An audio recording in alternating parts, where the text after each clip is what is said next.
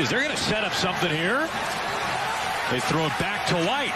White's got the first down and plenty more. White striding down the sideline, waiting for his blockers, keeps on his feet and brought down from behind.